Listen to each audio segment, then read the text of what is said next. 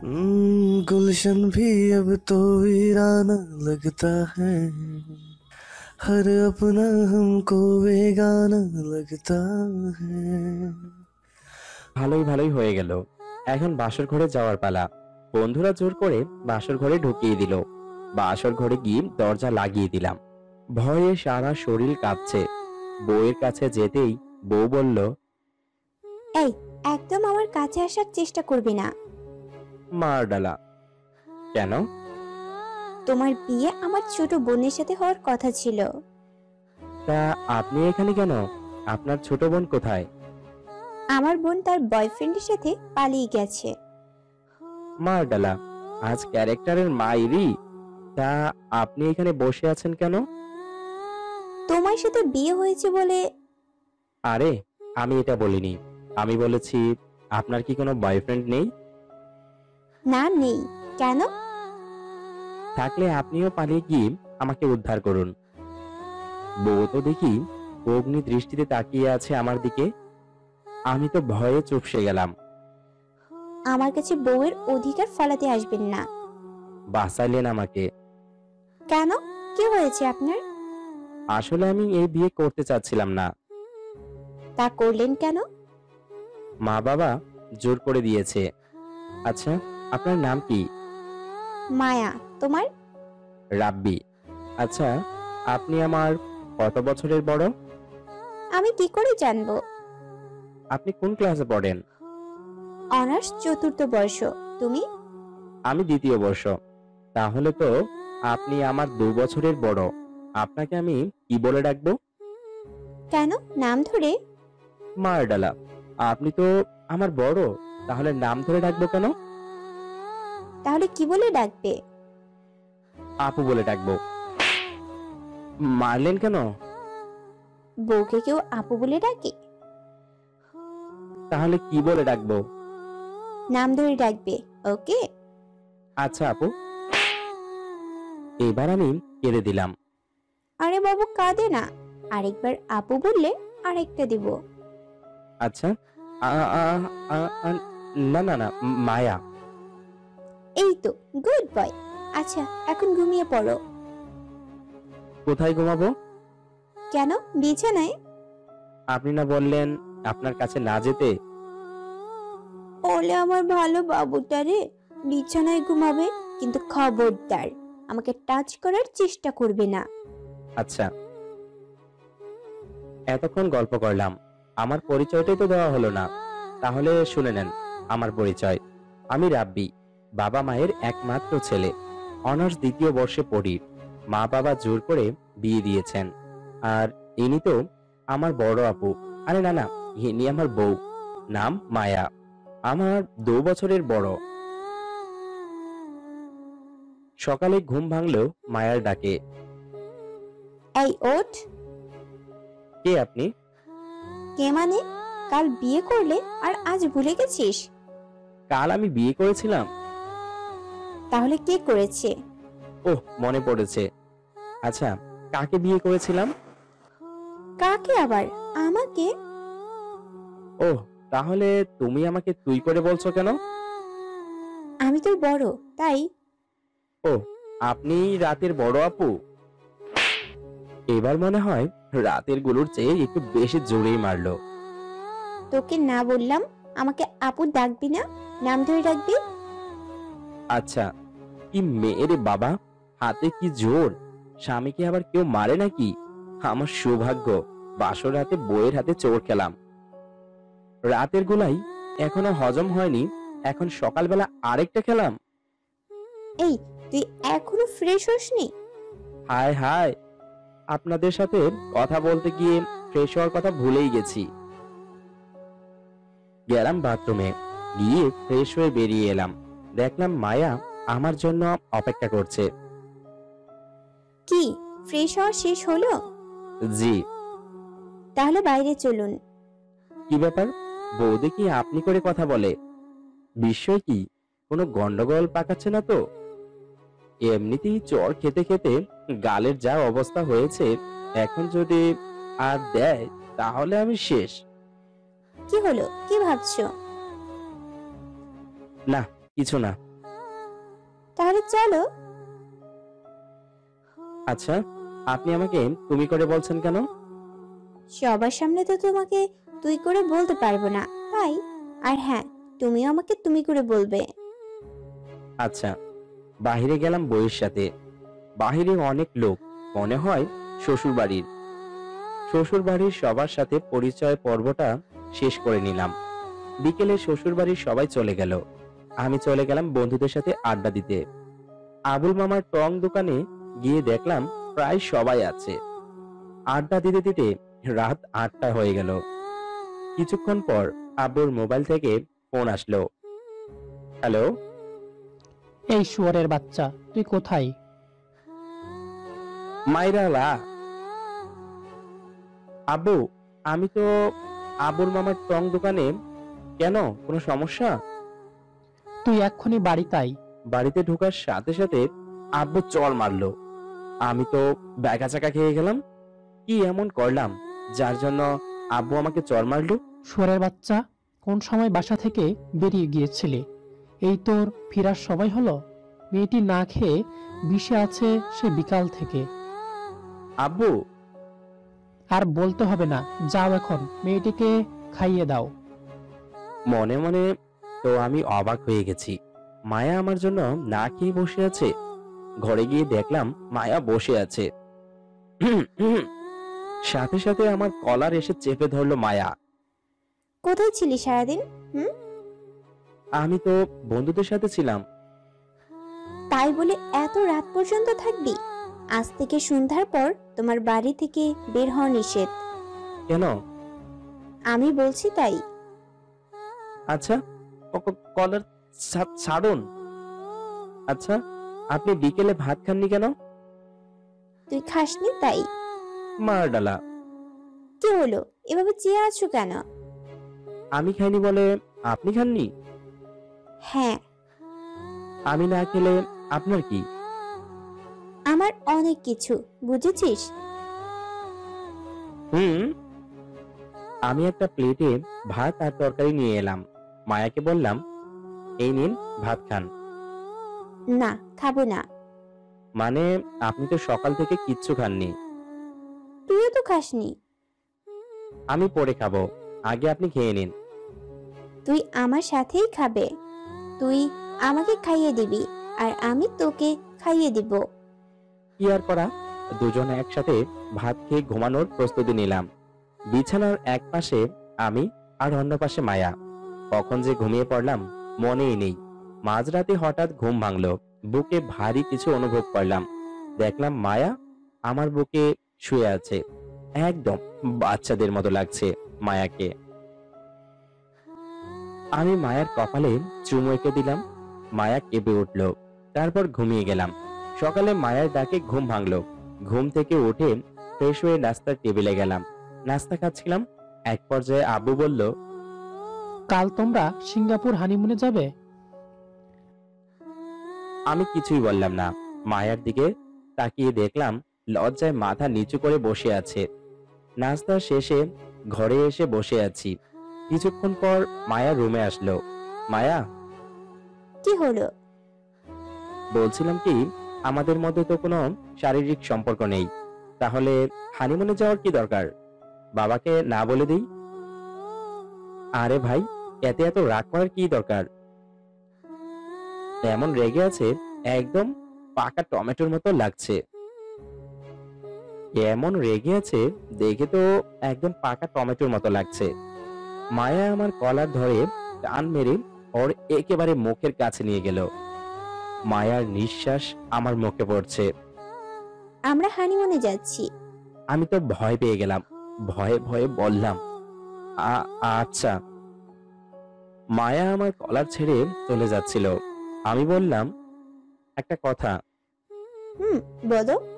আমি প্রথমেই দৌড়ের প্রস্তুতি নিলাম কারণ যা বলতে চাচ্ছি তার জন্য আমার উপর ভূমিকম্পও চলতে পারে।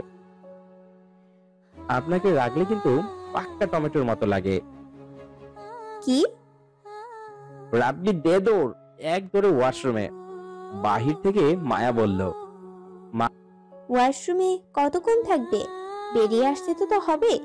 তখন বুঝবে মজা। মাপ চাই। আমাকে মাপ করে দেন।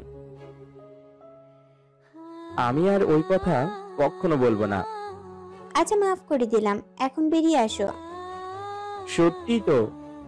হ্যাঁ একদম সত্যি। ভয়ে ভয়ে বেরিয়ে আসলাম। দেখলাম মায়া মিটমিট করে হাসছে। বিকেলে আমাদের ফ্লাইট তাই কাপড় পরছি। আমি কোন শাড়ি পরবো? তুমি চয়েস করে নাও। তোকে বলেছি তুই চয়েস করে দিবি। বেশি কথা বললে ভালো হবে না বলে দিলাম। নীল শাড়িটা পরে নাও। আচ্ছা। আরে করে কি মায়া দেখি আমার সামনে কাপড় খুলতে শুরু করেছে। আরে কি ক- কি করছেন? কই কি করলাম?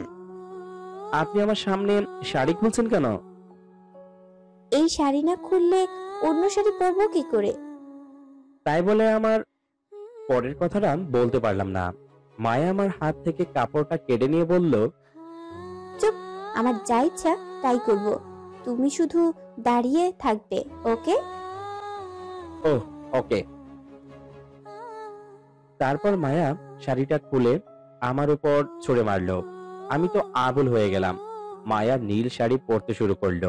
মায়া শাড়ি পরার এক পর্যায়ে বলল আমি শাড়ির কুচিটা দিতে পারছি না। একটু দিয়ে দিবে? আমি তো ওসব পারি না। মুখ লাল টমেটোর মতো করে বলল পারতে হবে। কি আর করা? শাড়ির কুচিটা দিয়ে দিলাম। শাড়ি পরানোর পুরনো অভিজ্ঞতা আছে আমার। কলেজে নাটকের সময় এক বন্ধুকে শাড়ি পরিয়েছি। তারপর সময় মতো এয়ারপোর্টে পৌঁছে গেলাম। আব্বু আম্মুর কাছ থেকে বিদায় নিয়ে এরোপ্লেনে উঠলাম। দুজনে কোনো কথা বলছি না। রাতে মায়া আমার কাঁধে মাথা রেখে শুয়ে আছে আর আমি তার দিকে চেয়ে আছি। তার পরের দিন বিকেলে সিঙ্গাপুর পৌঁছে গেলাম। একটা হোটেলে উঠলাম। হোটেলের রুমগুলো দুজনেরই পছন্দ হলো। আমি আর মায়া কাপড় পাল্টে বসে বসে টিভি দেখছি আর রিমোট নিয়ে কাড়াকাড়ি করছি। আমি পানি খাওয়ার জন্য কিচেনে গেলাম। হঠাৎ ইলেকট্রিসিটি চলে গেল। মায়া ভয় পেয়ে আমাকে ডাকতে লাগল। রাব্বি? রাব্বি? রাব্বি? কোথায় তুমি? আমি কিচেন থেকে মায়াকে স্পষ্ট দেখতে পাচ্ছি। আমার মোবাইলের স্ক্রিনের আলোর সাহায্যে। মায়া খুব ভয় পাচ্ছে। আমি যেই মায়ের কাছে গেলাম অমনি ইলেকট্রিসিটি চলে এলো। আর মায়া আমাকে জড়িয়ে ধরলো। খুব শক্ত করে জড়িয়ে ধরলো। বুঝলাম খুব ভয় পেয়েছে। মায়া কেঁদেই দিল। আমি কিছুক্ষণ পর। মায়া লজ্জায় আমাকে ছেড়ে দিল। আহারে, আমার লজ্জাবতী বউ। রাত প্রায় দশটা। ঘুমানোর প্রস্তুতি নিলাম। আমি একটা কোলবালির জড়িয়ে ধরে শুয়ে পড়লাম। আর চোখে দেখলাম মায়া রাগে লাল হয়ে যাচ্ছে। যেন এখনই আমাকে খেয়ে ফেলবে। মায়া আমার কাছ থেকে কোলবালিশটা কেড়ে নিয়ে বারান্দায় ফেলে দিল। আমি তো ভয় পেয়ে গেলাম। মায়া কাঁদতে কাঁদতে আমার বিপরীত পাশে শুয়ে পড়ল। কিছুক্ষণ পর মায়া বলল, কারও যদি আমাকে জড়িয়ে ধরার ইচ্ছে থাকে, তাহলে জড়িয়ে ধরতে পারে। আমি কিছু মনে করব না। আমি কি এখনও বসে বসে ললিপপ চষবো নাকি? আমি গ্রিন সিগন্যাল পেয়ে ধরলাম জড়িয়ে। মায়াকে জড়িয়ে ধরে কখন যে ঘুমায় গেলাম টেরই পাই নাই। সকালে মায়া ঘুম থেকে উঠে গোসল করে এসে এই রাব্বি ওঠো অনেক বেলা হয়েছে। মায়া তখন তার ভেজা চুলগুলো দিয়ে আমার মুখে সুরসুরি দিচ্ছে। আমি আর এমন অবস্থায় ঘুমাতে পারলাম না। মায়াকে দেখতে তার অপরূপ লাগছে। তোমার চুলগুলো এইরকম ভিজা কেন? গোসল করে আসলাম তাই। আমি একটু মায়াকে রাগান্বিত করার জন্য। কাল রাতে কি আমাদের মধ্যে কিছু হয়েছিল? তুমি ভালো জানো। আচ্ছা আমি কি করে জানব? আর কি করে বলব? তোমাকে বলতে হবে না আর তোমাকে জানতেও হবে না। তাড়াতাড়ি ঘুম থেকে উঠো নাস্তা করব। না আমি তোমার থেকে শুনব। না বললে ভালো হবে না বলছি। না বললে কি করবে? তোমাকে খেয়ে ফেলব? তাই বুঝি। কয়জনকে আজ পর্যন্ত খেয়েছো? কয়জনকে খেয়েছি মানে? তুমি কি বলতে চাচ্ছ? আরে কচি খোকা কিছুই বোঝো না বুঝি।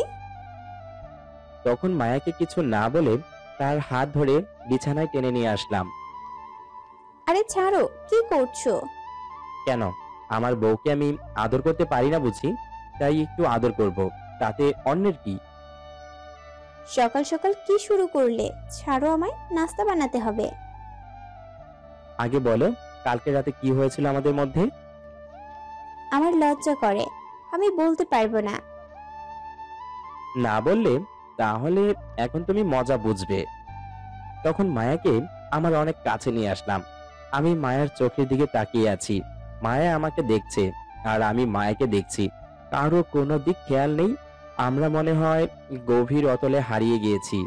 আমি আর দেরি সহ্য করতে পারলাম না।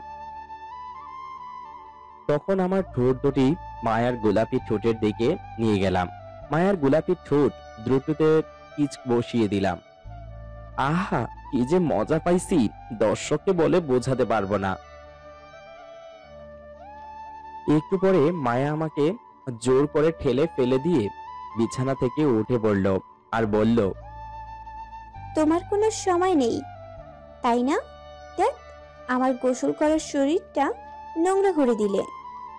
আর একটা দিব নাকি? কি দেবে? যেইটা কেবল দিলাম যেইটার কারণে তোমার শরীর নোংরা হলো। দেখ কি বলো এইসব আমি আর এখানে থাকবই না। এই বলে মায়া লজ্জায় মুখ লাল করে রুম থেকে দৌড়ে পালিয়ে গেল। আমি তার পিছন পিছন ছুটে চলে গেলাম। ছুটতে ছুটতে তার শাড়ির আঁচলটা ধরে ফেললাম। ধরার পরে মায়া হতবাক হয়ে দাঁড়িয়ে আছে। সামনে আর যেতেও পারছে না। লজ্জায় আমার দিকে তাকাচ্ছেও না। আমি আস্তে আস্তে তার শাড়ির আঁচল টানছি আর মায়া আমার দিকে আসছে। তারপর মায়ার কোমরে হাত দিয়ে আমার দিকে তার শরীরটা ঝুঁকে নিলাম। তখন মায়ার লজ্জায় চোখ বন্ধ করে আছে। আমি হাত দিয়ে মায়ার গলায় আলতো করে ছুঁয়ে দিলাম। তখন মায়ার চোখ দিয়ে পানি গড় করে বের হচ্ছে। আমি তখন আরও গভীরে যাচ্ছি। হঠাৎ মায়া আমাকে ছিটকে সরিয়ে দিল। আমি তো অবাক তখন টাচ করবে না আর আমাকে। কেন? তুমি তো আমার বউ। কাজ করব না কেন? বলছি আর টাচ করবে না। বাস আর করবে না। আমি তোমাকে অনেক ভালোবাসি বউ। এইরকম বলো না। কিসের ভালোবাসা? আমি তোমার সিনিয়র। সেটাই বোঝো না তাই আমাকে ধরবেও না। দেখো মায়া পাগলামি বাদ দাও। কিসের পাগলামি? নাম ধরে ডাকলে কেন? তাহলে কি পাগলি বলে ডাকবো? কি বললে আমাকে? ওই কিছু না তো। তুই আমারে পাগলি বললি তাই না? তুমি তো আমার জান। তোমারে পাগলি বলব কেন? তোকে না বলছি বউয়ের অধিকার ফলাতে আসিস না। তুই এখন চোখের সামনে থেকে সর। এই বলে মায়া চলে গেল রুমে। আমি তো পুরাই হতবাক। যেই বউ আমারে কত ভালোবাসে আদর করে সেই বউ আমারে তুই তাকারি করছে। এদিকে যেমন মেজাজটা খারাপ হয়ে গেল অন্যদিকে মনটাও ভেঙে গেল। মনে করলাম হানিমনটা অনেক মজার আনন্দের। আধারে পার করব। কিন্তু না তা বুঝি আর হয়ে উঠল না। এই ভেবে কখন যে চোখে পানি আসছে বুঝতেই পারি নাই। যাই হোক কি আর করার? একটু পরে আমি রুমে গেলাম। মায়া আমাকে দেখে রুম থেকে চলে যাচ্ছে। আমি তখন পিছন থেকে মায়ার হাতটা টেনে ধরি। হাত ধরলি কেন রে? আমার হাত ছেড়ে দে তুই। তোমার সাথে কথা ছিল। তোর সাথে আমার কোনো কথা থাকতে পারে না। হাত ছাড় বলছি। তুমি যদি কথা না বলো, তোমার হাত ছাড়বো না। রে তখন মায়া রেগে গিয়ে চর মেরেই ফেলেছে। আমি লজ্জায় আর মায়ের সামনে কাঁদতে পারলাম না। চর মেরে তখন মায়া রুম থেকে বের হয়ে গেল। আমি হতভম্ব হয়েছি। এইবার সত্যি সত্যি কেঁদেই ফেলেছি। বিছানায় শুয়ে কাঁদতে কাঁদতে কখন যে ঘুমাই গেছি বুঝতেই পারি নাই। হঠাৎ মায়া আমারে ডাকতেছে। আমি মায়ের ডাক শুনে ঘুম থেকে ভয়ে ভয়ে উঠলাম। রাত হয়েছে।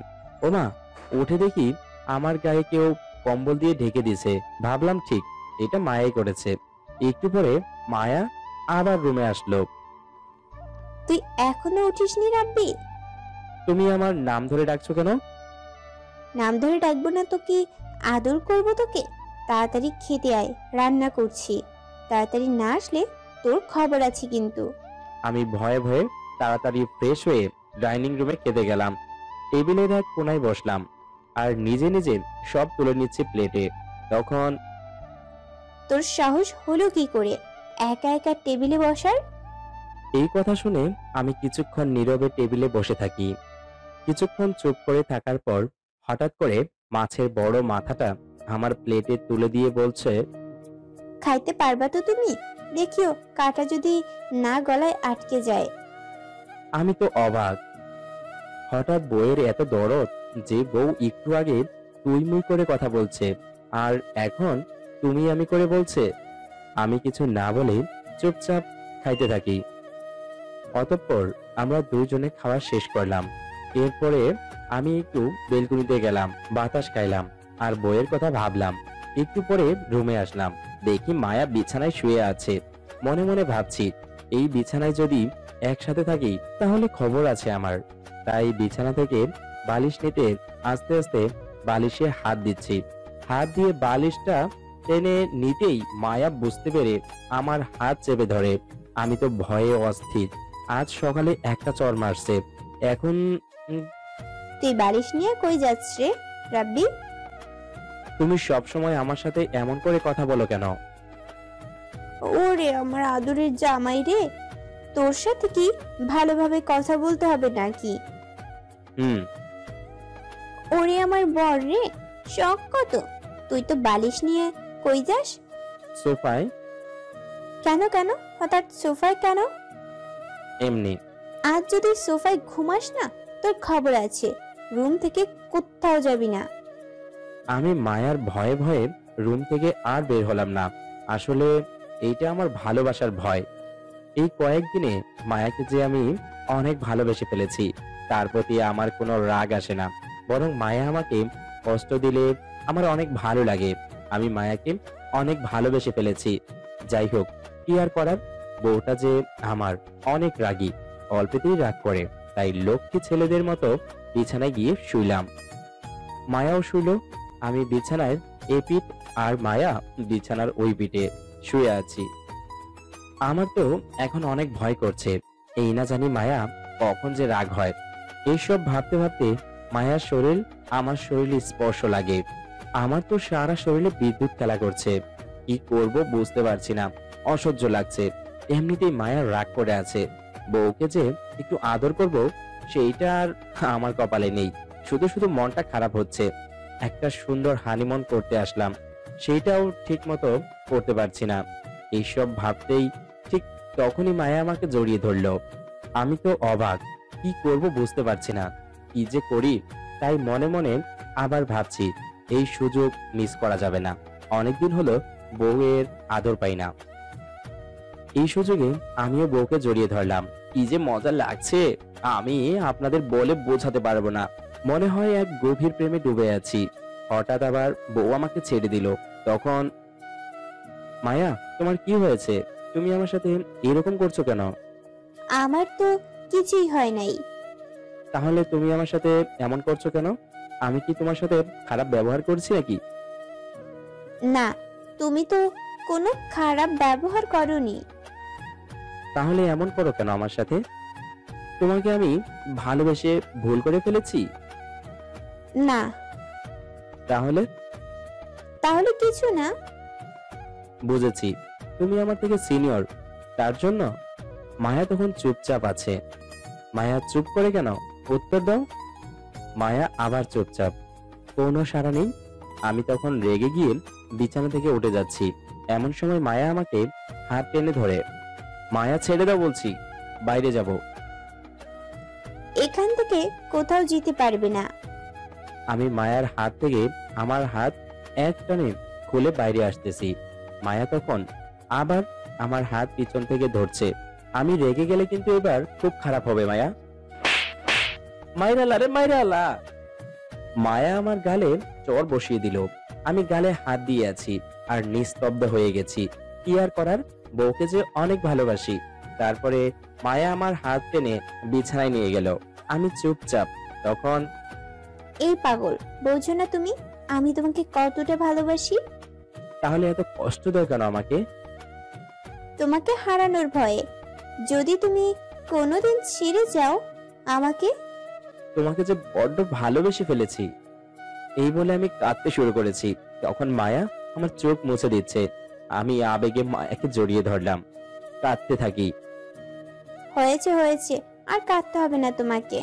আর কখনো করব না এমন। তোমাকে না আমি খুব ভালোবাসি। ওরে মোর ভালোবাসা পাগল রে। তাই কতটুকু ভালোবাসো আমাকে? বলা যাবে না। শয়তান বলো তাড়াতাড়ি না বললে তোমার খবর আছে আজ। বলো না কি করবে? তবে রে। এই বলে মায়া আমাকে বালিশ নিয়ে মারার জন্য এগিয়ে আসে। বালিশ দিয়ে আমারে মারতেই মায়া আমার বুকের মাঝে আসে। আমার হার্টবিট বেড়ে যাচ্ছে। আমি মায়ার চোখের দিকে তাকিয়ে আছি। মায়া আমার চোখের দিকে তাকিয়ে আছে? তার অন্যদিকে কোনো রেসপন্স নেই। তখন মায়াকে আস্তে আস্তে করে বিছানায় শুয়ে দেই। কপালে একটা চুমু দিলাম মায়াকে। মায়া তখন শিউরে উঠল। কোনো কথা বলছে না। শুধু মায়া চোখ বন্ধ করে আছে। তারপর মায়া আমাকে শক্ত করে জড়িয়ে ধরলো। আমি তো আর ঠিক থাকতে পারছি না। মনে মনে ভাবতেছি, এইবার বইয়ের আদরের সুযোগটা মিস করব না। তারপরে মায়াকে আমিও শক্ত করে ধরি পাঠক তারপরে কি ঘটলো? ওইটা বলা যাবে না। পরের দিন সকালে ঘুম থেকে উঠেই দেখি মায়া আমার জন্য কফি আনছে। সকালে গোসল করে যে মায়াকে এত সুন্দর লাগছে আপনারা ভাবতেই পারবেন না। মায়া কফি দিয়ে চলে যাচ্ছে। আমি মায়ার হাতটা টেনে ধরলাম। ছাড়ো না রান্না করতে হবে। তোমাকে না সেই লাগছে। মনে হয় সারা জীবন এই বুকের মধ্যে নিয়ে থাকি। হয়েছে আর বলতে হবে না তোমাকে। ওঠো এখন কফিটা ঠান্ডা হয়ে যাচ্ছে। তুমি তো আমার কফি। এই বলে মায়াকে এক টানে আমার কাছে নিয়ে আসলাম। মায়াকে কিস করার জন্য মুখটা বাড়িয়ে দিলাম। এই কি করো এইসব? সবে মাত্র গোসল করে আসলাম। কালকে রাতে দুষ্টুমি করে হয়নি আবার? কি হয়েছিল কালকে? এই কথা শুনে মায়ার মুখটা লজ্জায় লাল হয়ে গেল। তার লাল মুখটা দেখতে এত সুন্দর, আমি আর এর আগে কখনো দেখি নাই। খাবার রান্না করতে মায়ার রুম থেকে চলে গেল। আমিও উঠলাম, ফ্রেশ হয়ে দুইজন মিলে খাবার সেভ করলাম। হানিমনে এসে কোনো জায়গায় বেড়ানোই হলো না, এইসব ভাবতে ভাবতে। এই চলো না, আজ বাইরে থেকে ঘুরে আসে, অনেকদিন হলো ঘুরি না। হ্যাঁ চলো, আজ বাইরে ঘুরতে যাব। এই বলে আমরা বাইরে ঘুরতে যাওয়ার জন্য রেডি হয়ে নিলাম। তারপরে বেরিয়ে পড়লাম। বিকেলের দিকে আমি আর মায়া একটা পার্কে গেলাম। ওমা যে দেখলাম কত মানুষ, প্রেমিক প্রেমিকারা প্রেম নিয়ে ব্যস্ত। আমরা একটা ফুলের বাগানের ধারে বসলাম। তখন এই দেখছ, পার্কটা কত সুন্দর। নিরিবিলি প্রেম করতে কত মানুষ আসছে, দেখো। তুমি থাকতে আমি আবার কাকে দেখব? তাই? আমার প্রেমিক পুরুষ? হুম মায়া তোমারে একটা কিস করি? এখন হবে না বাসায় সব। বাসায় তো সব সময় হয় এখন একটা দিতে দাও না। না হবে না। প্লিজ একটা। আচ্ছা ঠিক আছে বেশিক্ষণ না কিন্তু। আমি কিছু না বলে কিস করার জন্য মায়ার মুখের দিকে মুখটা নিয়ে যাচ্ছি। তার চোখে চোখে আমার চোখ, অপরূপ এক পরিবেশ। নিয়ে যাইতে যাইতে তার ঠোঁটে আমার ঠোঁট স্পর্শ করতে কারেন্টের শক লাগল। তখনই আমি গভীরভাবে কিস করতেই আমার ফোনটা বেজে উঠল। ধুর বাবা, বাইরে একটু বইয়ের সাথে রোমান্স করব, তাও ফোনের যন্ত্রণাই হচ্ছে না। ফোনটা খুলে কল দেখে আমি অবাক। দেখি মেঘলার নাম। মেঘলা হলো আমার ক্লাসমেট আসলে মেঘলা আমাকে খুব পছন্দ করত, খুব ভালোবাসতো। আমিও একটু বাসতাম আমি একটু মেঘলার প্রতি দুর্বল, কিন্তু মেঘলা কোনো দিন বলে নাই। হঠাৎ বাবা আমাকে বিয়ে দিয়ে দেয়। সেই রাগে মেঘলা বিদেশে স্কলারশিপ নিয়ে পড়তে যায়। সেই দেশটাই হলো সিঙ্গাপুর। আমরা যেখানে হানিমনে এসেছি, তারপর থেকেই মেঘলার সাথে আর কথা হয়নি। বইয়ের ভয়ে ভয়ে ফোনটা রিসিভ করলাম না। তার পরের বার আবার ফোন করেছে। ফোনটা কেটে দেওয়া দেখে তুমি ফোন কাটছো কেন? কারোর জরুরি কোনো প্রয়োজন হতে পারে? ছাড়ো তো তেমন কেউ না। এই বলে মায়াকে একটু আদর করতে গিয়ে আবার মেঘলার ফোন আমি ফোনের দিকে তাকাচ্ছি কিন্তু ফোনটা তুলছি না। তেমনি মায়া আমার হাত থেকে ফোনটা কেড়ে নিয়ে রিসিভ করল। তখন আমি ভয়ে আছি। কি যে হয়? তারপরে হ্যালো আপনি কে বলছেন? আমি মেঘলা। এটা রাপির নাম্বার? কোন রাব্বি? আর কে আপনি? বারবার ফোন করছেন কেন? আপনি তাকে আর রাপির নাম্বার কেমন করে আসলো আপনার কাছে? আমি রাব্বির বউ। আপনি কে? চিনবেন না। রাপিকে ফোনটা একটু দেওয়া যাবে? মায়া তখন? আমাকে রেগে ফোনটা দিল। আরে বাবা, মায়া এত রাগ যে করেছে, রাগে তার চোখ দুটি লাল হয়েছে, সাদা মুখটা টকটকে লাল হয়েছে। উফ, কি যে লাগছে মায়াকে। রাগলে মায়াকে অনেক সুন্দর লাগে, কিন্তু এত রাগ এত রাগ আমার ভয় লাগে। মনে হয় খেয়েই ফেলে দিবে। কিন্তু মায়া অনেক ভালো মেয়ে। রাগ থাকলে কি হবে? মনটা অনেক ভালো। আমার বউ বলে কথা আমি জানি পাঠক তোমরা আমার মতো বউ পাবে না। ফোনটা দেওয়ার পরে মায়া রেগে একটু দূরে চলে গেল। আমি তখন মেঘলার সাথে কথা বলছি। কে আপনি? আমাকে কেন চাচ্ছেন? আমি তোমার ছোটবেলার বন্ধু মেঘলা। এত তাড়াতাড়ি ভুলে গেলে? সরি মেঘলা। আমি তোমারে চিনতে পারি নাই। আচ্ছা তুমি কোথায় আছো রাব্বি সিঙ্গাপুর আসছি হানিমনে। আমি তো সিঙ্গাপুরে থাকি। তুমি কোথায় থাকো? ঠিকানাটা দিবে একটু? কি করবে? ঠিকানা দিয়ে? কিছু ইম্পর্টেন্ট কথা ছিল। ঠিক আছে নাও। তারপরে আমি মেঘলাকে ঠিকানাটা দিলাম। মেঘলার সাথে কথা শেষ করে মায়াকে খুঁজছি কিন্তু দেখতে পাচ্ছি না। আর তাকে খুঁজে পাওয়া যাচ্ছে না। আবার অভিমানের জন্য কিছু করেই না বসে। আমি পুরো পার্কটা খুঁজলাম, দেখি কোথাও নাই। এইবার আমার খুব চিন্তা হলো। কিছু ভেবে পাচ্ছি না, তাও বারবার খুঁজতে থাকি। খুঁজতে খুঁজতে দেখি বাগানের এক কোনায় বসে আছে মায়া। সেখানে কেউ যায়ই না, মন মরা হয়ে আছে। কোনো কথা নাই মায়ার, মন ভার করে আছে। মায়া, তোমার কি হয়েছে? এখানে একা একা কি করছ? আমি তোমাকে কতক্ষণ থেকে খুঁজছি? কি হলো মায়া? কিছু তো বলো। তুমি কথা না বললে আমার খুব খারাপ লাগে। এইসব বলতে বলতে মায়া আমাকে উচ্চ সুরে কাঁদতে কাঁদতে জড়িয়ে ধরলো। মায়া কাঁদছো কেন? হঠাৎ তোমার কি হলো? তুমি বুঝবে না। তুমি তো কিছু বোঝোই না। এই বলে মায়া আরও উচ্চ স্বরে কাঁদছে। এই হয়েছে প্লিজ আর কেঁদো না। এখানে সকলে দেখছে আমাদের। তো দেখছে তাতে আমার কি? এই মায়া সিন ক্রিয়েট করো না প্লিজ। সকলে দেখছে কি মনে করবে সকলে? এইসব বলতে বলতে মায়া আরও বেশি রেগে বাসার দিকে রওনা দিচ্ছে। তখনই তুমি একাই কোথায় যাও হুম? একা গেলে রাস্তায় বিপদ হতে পারে। হলে হবে তাতে তোর কি হুম? আবার তুই? তোর কি ভালোভাবে বলতে হবে? এই বলে মায়া একটা গাড়ি ধরে বাসার দিকে রওনা দিল। আমি মায়ার পেছনে পেছনে আরেকটি গাড়ি ধরে রওনা দিলাম। যাই হোক, হাজার হলেও তো বউ। বউকে তো আমি আর বিপদে ফেলতে পারি না। কি জন্য রাগ হলো সেটাই ভাবতে পারছি না। মনে হয় মেঘলার ফোন আসার পর থেকে মায়া রেগে আছে। এই ভাবতে ভাবতে বাসায় পৌঁছে গেলাম মায়া আমার একটু আগে বাসায় পৌঁছে। দেখি মায়া রেগে বিছানায় বসে আছে। কোনো শব্দ নেই। মুখ চোখ গভীর ভাব আমি মায়ার পাশে বসলাম। মায়ার হাত ধরে মায়ার চোখের দিকে তাকিয়ে মায়া এমন করো না প্লিজ দেখো তোমাকে আমি কত ভালোবাসি আর তুমি আমাকে এইভাবে কষ্ট দিচ্ছ। তো তুমি তখন মেঘলা নামের মেয়েটির সাথে কথা বললে কেন? ও তোমার কি হয়? তুমি যা ভাবছ তা না। মেঘলা ছোটবেলার ফ্রেন্ড হয় আমার। তো তুমি এই কারণে আমার সাথে খারাপ ব্যবহার করছ? করব না। আমাকে ছেড়ে তুমি অন্য মেয়ের সাথে কথা বলছো, এটাই সহ্য করতে পারছিলাম না, তাই।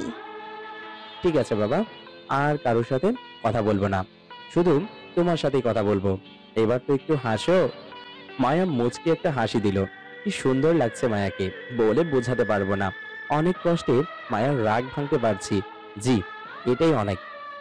ডিনার শেষ করে রুমে আসলাম দুইজন। আমি একটু ল্যাপটপটা চালু করে কাজ করছি। মায়া বিছানায় গিয়ে শুয়ে আছে। আমি কাজে ব্যস্ত। একটু পরে এই তোমার কাজ শেষ হলো? তুমি ঘুমাবে না? না তুমি ঘুমাও। আমার একটু কাজ আছে। আমার একা ঘুম ধরছে না। তুমিও আসো। তাহলে আমি কি করব? ঠিক আছে তোমাকে শুতে হবে না। তুমি তোমার কাজ নিয়ে থাকো। এই বলে মায়া আমার প্রতি আবার একটু রাগ করে অন্যদিকে মুখ ঘুরিয়ে শুয়ে আছে। আমি আর দেরি না করে ঘরের আলোটা বন্ধ করি। বিছানায় গেলাম। দেখি মায়া জেগেই আছে। এখনও ঘুমায়নি। আমি মায়ার কাঁধে হাত দিলাম। তখনই এই ছুবে না আমায়। তুমি তোমার কাজ নিয়ে থাকো। তুমি তোমার বউ শোনা বউ কি এসব বলে? তুমি খবরদার এইসব বলে আমার মন জয় করতে পারবে না। হানিমুন করতে আসছো না? কাজ করতে আসছো। যাও কাজ নিয়েই থাকো। বউয়ের কাছে আসতে হবে না। এই বলে মায়া আবার পিছনের দিকে ঘুরল। আমি তো ছেড়ে দেওয়ার পাত্র না, একটু জোর করে মায়ার কাঁধটা ধরে আমার দিকে ঘুরে নেই। আমার কাছ থেকে নিজেকে ছাড়িয়ে নেওয়ার জন্য জোর করছে। আমি তার হাত দুটো শক্ত করে ধরলাম। দেখি তার চোখ রেগে লাল হয়েছে, কিন্তু তার চোখে ভালোবাসার কামনা দেখতে পাচ্ছি আমি আস্তে করে তার ঠোঁটের দিকে মুখটা নিয়ে যেতেই মায়া চোখ বন্ধ করল। আমি কিস না করে তার শিশুর মতো মুখের দিকে তাকিয়ে থাকি। কি সুন্দর মায়াবী চেহারা। মনে হয় সারা জীবন ধরে এইভাবেই দেখি। রাগ ভাঙাতে ঠিক তখনই মায়ার ঠোঁটে কিস করি। মায়া নীরবে তার চোখ বন্ধ করে ফেলে। যাই হোক, তারপরের ঘটনা আর বলা যাবে না। অনেক শান্তিতে সারা রাত ঘুম পারলাম খুব সকাল সকাল মায়া ঘুম থেকে উঠে গোসল করে আসে। তার মাথার ভেজা চুলগুলো দিয়ে আমার মুখে সুরসুরি দেয়। আমি আর ঘুমে থাকতে পারলাম না উঠে গেলাম। মায়া তুমি এত সকালে আমার ডিস্টার্ব করো না তো যাও। এই উঠো গোসল করে আসো নাস্তা করব একসাথে। না একটু ঘুমাই। তুমি একটু এখান থেকে যাও। মায়া আর কোনো কথা না বলে আমার হাত ধরে টেনে গোসলখানায় নিয়ে আসলো। আমি তো এত সকালে গোসল করব না কিন্তু মায়া শুনছেই না। না গোসল করলে খাওয়া বন্ধ। তারপরে গায়ে পানি দিতেই আমিও হঠাৎ করে মায়ার গায়ে পানি ঢেলে দেই। এ কি করলা? কই কি করলাম? শুধু আমার বউটারে একটু ভিজিয়ে দিলাম। তুমি একটা ফাজিল বর। কেন? ওই আমি গোসল করছি না আবার ভিজিয়ে দিলে কেন? আমি আমার বউকে যা খুশি করতে পারি তাতে তোমার কি? দাঁড়ারে মজা দেখাচ্ছি। এই বলে মায়া গোসলখানায় আমাকে মারতে এগিয়ে আসে। আসতেই পা পিছলে যায় মায়ার। পড়া পড়া ভাব আমি সেই সময়ে মায়াকে হাতে ধরে নেই। মায়া ভয়ে চোখ বন্ধ করে আছে। তারপরে মায়ার মুখের দিকে তাকাতেই দেখি সে ভয় পেয়ে গিয়েছে। কি অসম্ভব লাগছে মায়াকে। আমি তার দিকে তাকিয়ে আছি। তখন এই ছাড়ো তোমার জন্য আমার কি অবস্থা হতে? আমি আছি না আমি থাকতে তোমার কিছুই হবে না। হয়েছে হয়েছে আর বলতে হবে না এখন গোসল করে নাও। তাহলে একসাথেই করি? ছি ছি কি বলো একসাথে গোসল করলে আমার লজ্জা লাগবে না বুঝি? আরে তুমি তো আমার আদরের বউ লজ্জা কিসের? না না পারব না তুমি গোসল করো। তখন আমি মায়াকে কাছে টেনে নিলাম। দিলাম ঝর্ণা ছেড়ে দুইজনে ভিজে গেলাম। যাক দুইজন একসাথে গোসলটা শেষ করলাম। তোয়ালা পরে রুমে আসলাম। তখন কাপড় চেঞ্জ করব রুমে। রিপিট এখন কাপড় চেঞ্জ করব রুমে। তখন হঠাৎ এই রুম থেকে বের হইতো একটু। আরে আমি আবার কি দোষ করলাম? কোন রুম থেকে বের হব? আমি কাপড় চেঞ্জ করব না বুঝি? এভাবে তোয়ালে পরে থাকব কি? বের হও রুম থেকে আমার লজ্জা করে। স্বামীর কাছে কাপড় চেঞ্জ করতেন কিসের এত লজ্জা? তোমার এত লজ্জা কেন? তোয়ালা পরে তোমায় অনেক সুন্দর লাগছে। যা বলছি। এই বলে আমাকে ঠেলে বের করে দিচ্ছে। তখন আমি এদিকে মুখ ঘুরিয়ে রাখব। তোমাকে দেখব না। যাও। না না হবে না। এই রুম থেকে বের হও। একটু থাকি না মায়া। সত্যি তোমাকে দেখব না। যাও। ঠিক তো? ঠিক আছে। এই বলে মায়া তার কাপড় পাল্টাচ্ছে। আমি এই অন্যদিকে ঘুরে আছি কিন্তু মন তো মানছে না। আমি আর ধৈর্য ধরতে পারলাম না। একটা চোখ মায়ার দিকে পড়ে গেল। মায়াকে কি যে অপরূপ সৌন্দর্য লাগছে না আমি আর নিজেকে কন্ট্রোল রাখতে পারলাম না। আস্তে আস্তে মায়ের দিকে চোরের মতো দেখছি। মায়া কিছু বুঝতে পারেনি।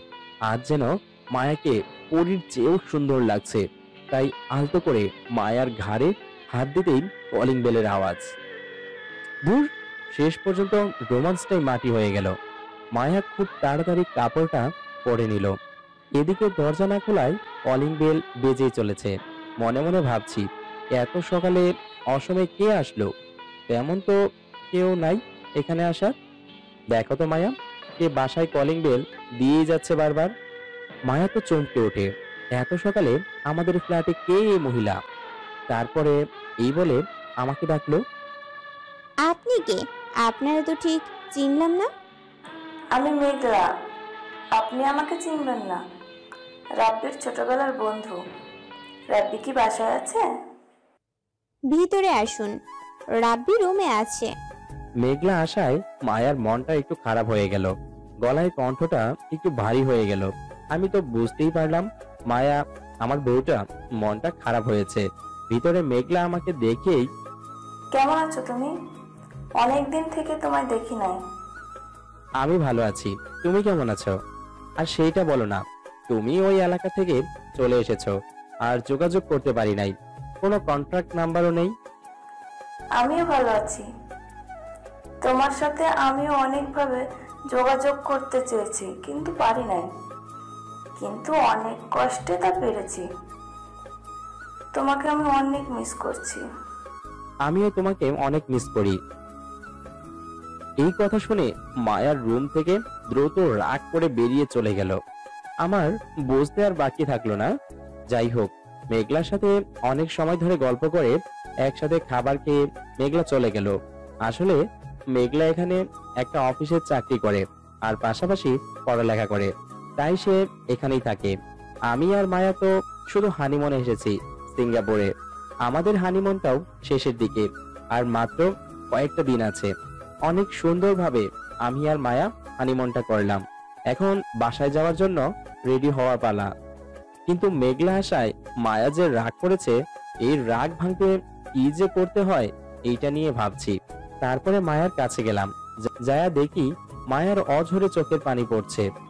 আমাকে যাওয়া দেখে চোখের পানি মুছছে।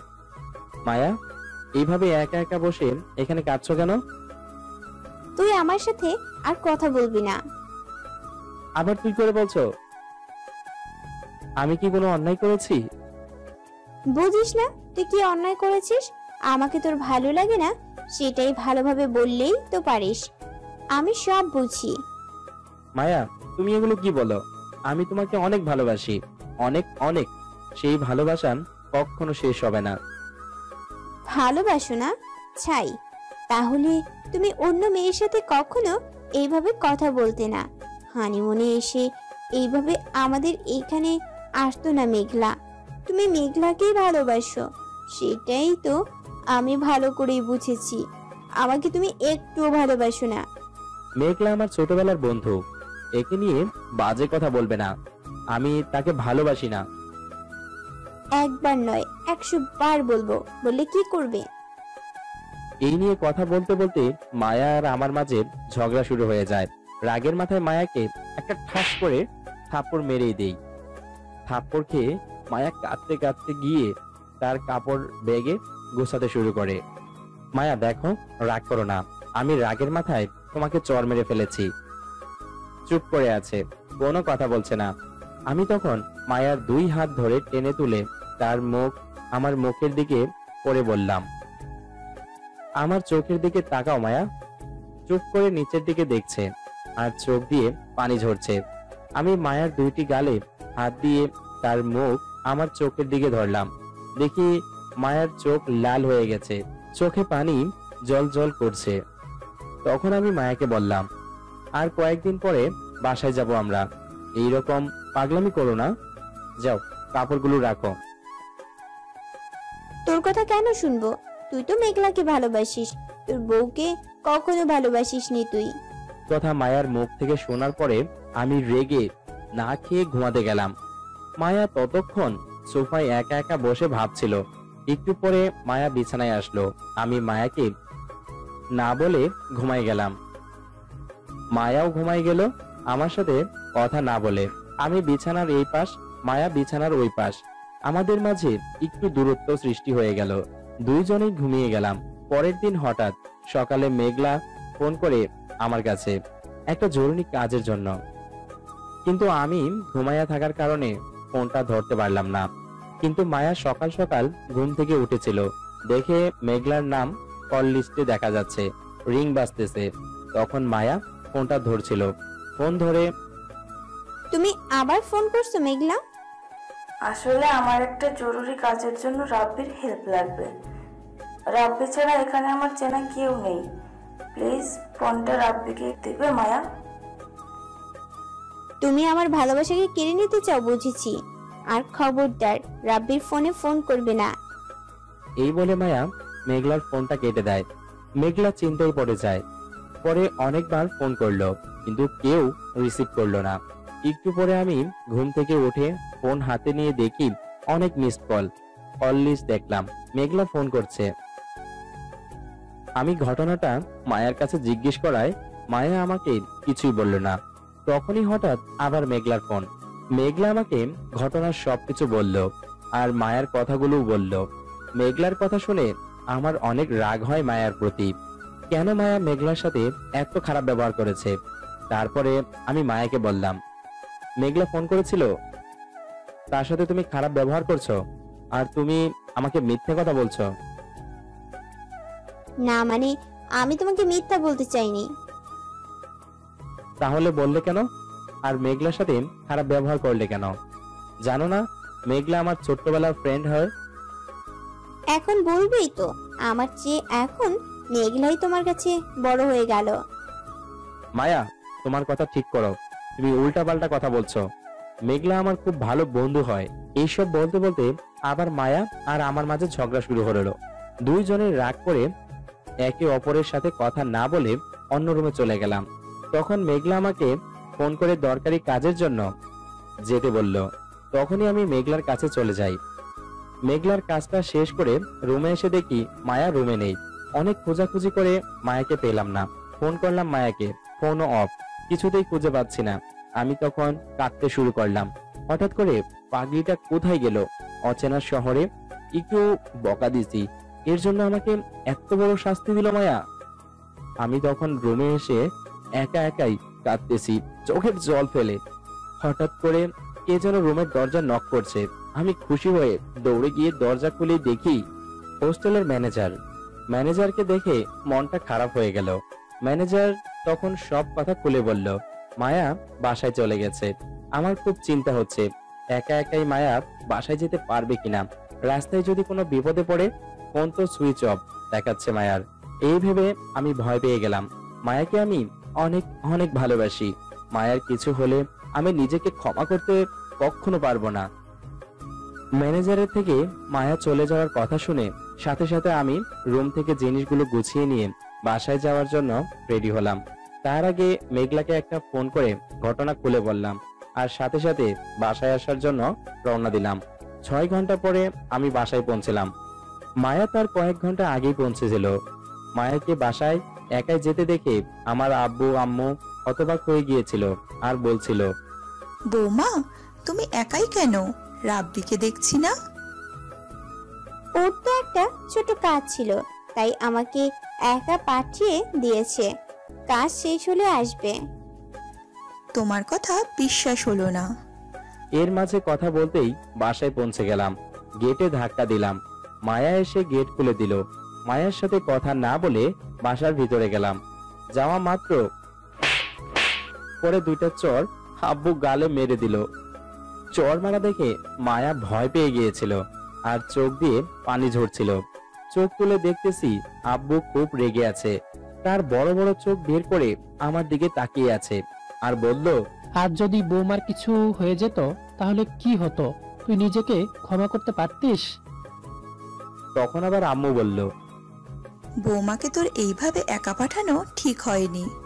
হানিমুনে যে তোর কিসের কাজ থাকে আর কাজ থাকলে আজ কেন বৌমাকে পাঠালি বাসায়? চুপ করে আছি। মেঘলার কথা আব্বু আম্মুকে বলতে পারছি না।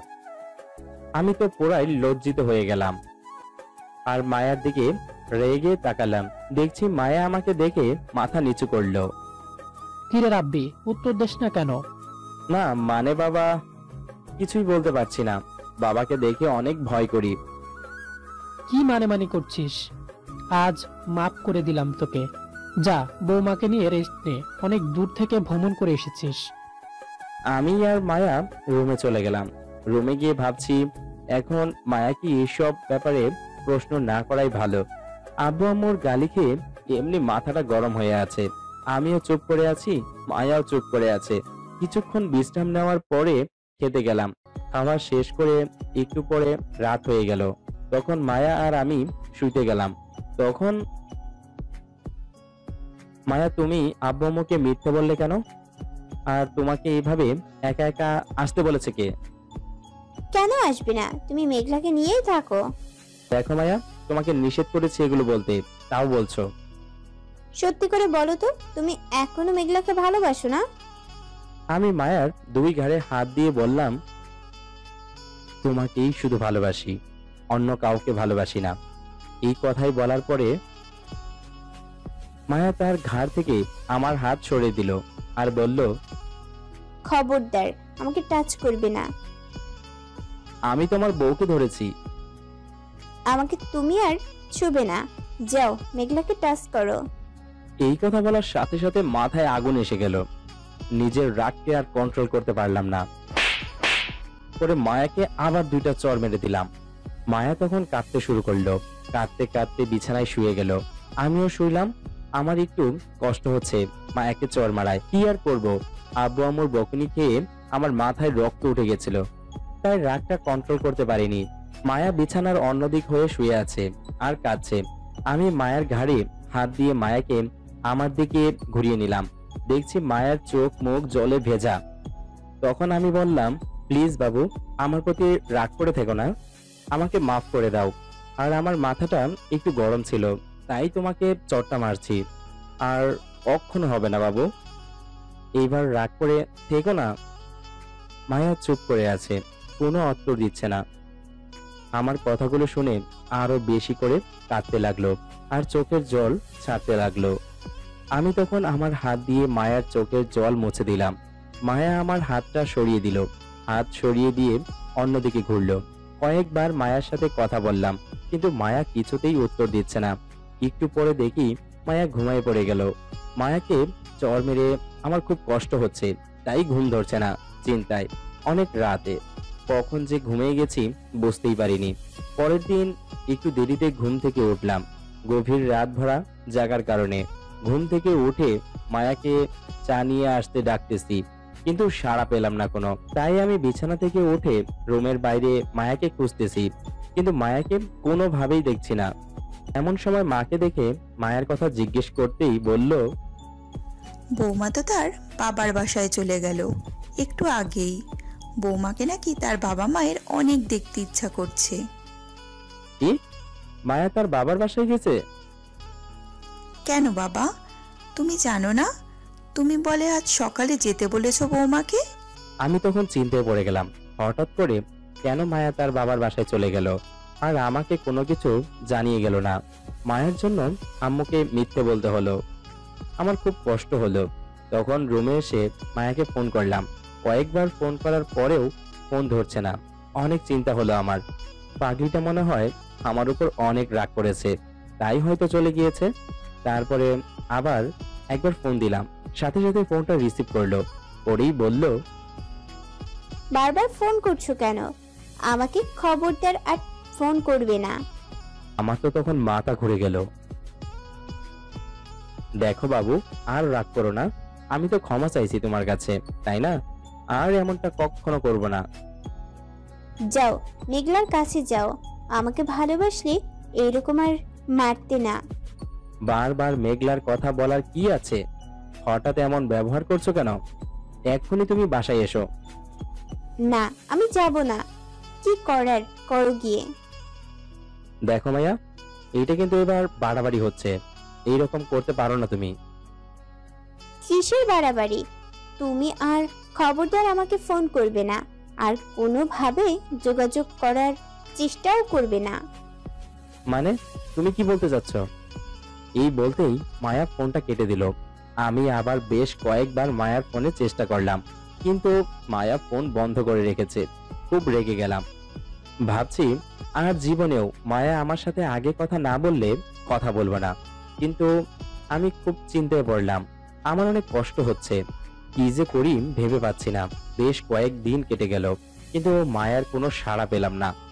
না, আর থাকতেই পারছি না মায়াকে ছাড়া। আবার আমি লজ্জিত হয়ে মায়ার কাছে ফোন করলাম। কিন্তু সুইচ অফ। তাই আমি মায়ার বাবার কাছে ফোন করে মায়াকে ফোনটা দিতে বললাম। কিন্তু মায়ার বাবা বলল, আমার সাথে নাকি মায়া কথা বলবে না। সাথে সাথে মনটা ভেঙে গেল। আমি ভাবলাম, মায়ের রাগ ভাঙছে। কিন্তু দেখি আরও বেশি করে রাগ করে আছে। তখন আমি প্রতিজ্ঞা করলাম, আর মায়ার সাথে আমিও কোনোদিন যোগাযোগ করব না। তাই আমি আর মায়ের সাথে কোনো যোগাযোগ করি নাই। অনেক কষ্টে দিনগুলো যাচ্ছে। শুধু মায়ের স্মৃতিগুলোই মনে পড়ছে। মায়াকে এক নজর দেখার জন্য মনটা ব্যাকুল হয়ে আছে। তার সাথে কথা বলার জন্য মনটা ছটফট করছে। কিন্তু যে আমার অভিমানটা কাজ করেছে, তাই মায়ার কাছে যেতে পারছি না। তাই এইভাবে মায়াকে ছাড়াই অনেক কষ্টে দিন চলে যাচ্ছে। কয়েক মাস পর হঠাৎ মায়ার বাবার ইমার্জেন্সি ফোন আমি সালাম দিলাম। সালাম দিয়ে মায়ার বাবা যা বলল রাব্বি কোথায় আছো? তাড়াতাড়ি চলে এসো। মায়ার অনেক পেট ব্যথা। মায়া খুব কাঁদছে। ডাক্তারের কাছে নিয়ে যেতে হবে আর তোমার কথা বলছে। মায়ের কথা শুনে মনটা যেন ভিতরে মোচড় দিয়ে উঠল। নিজের আবেগটা আর কন্ট্রোল দিতে পারলাম না। চোখ দিয়ে আপনা আপনি পানি ঝরে চলেছে।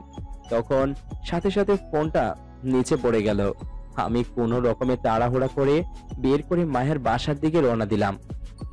আমার মা বাবাকেও বলতে মনে ছিল না। একটু পরে মায়ের বাসায় চলে এলাম। বাসায় ঢুকে শাশুড়ি আম্মার সাথে দেখা হয়ে গেল। আর বললাম, মায়া কোন রুমে আছে?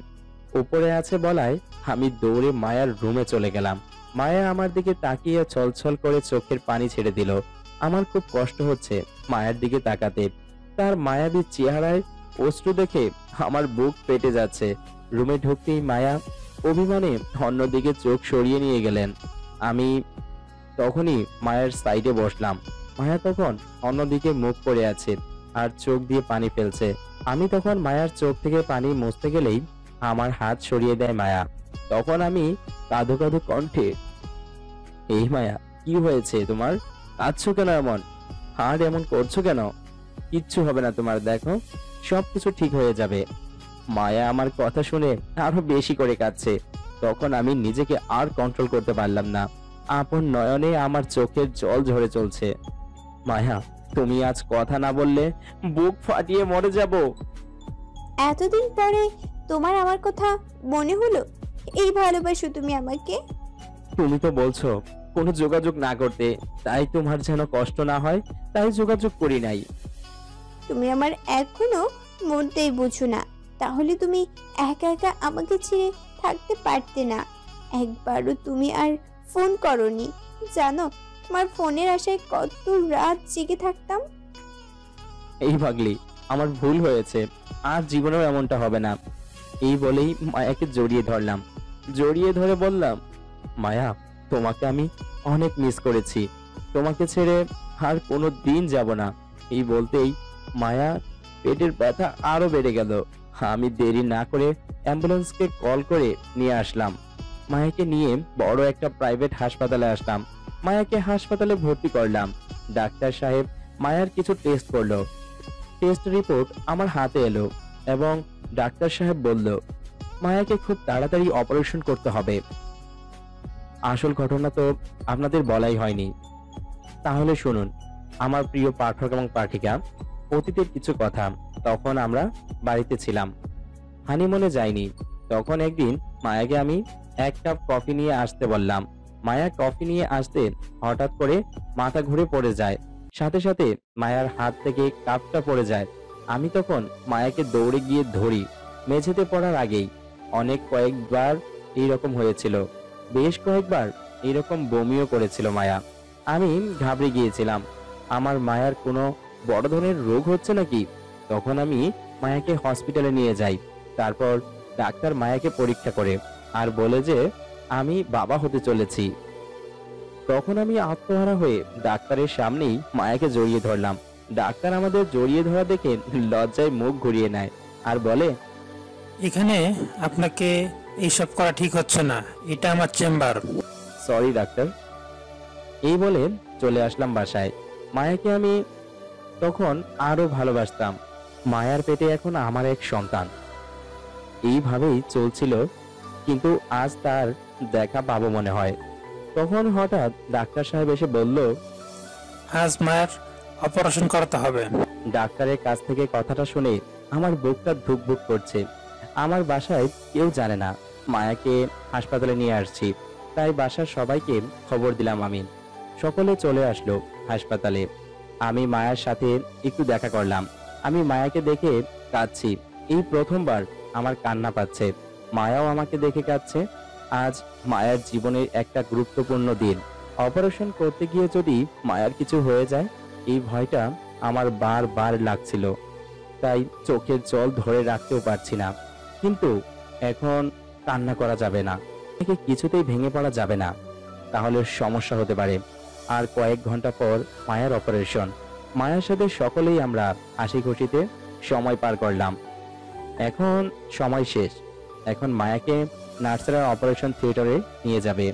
আমি মায়াকে শেষবারের মতো বিদায় জানালাম। নার্সেরা মায়াকে নিয়ে যাচ্ছে। তখন মায়া আমার দিকে এক দৃষ্টিতে তাকিয়ে আছে।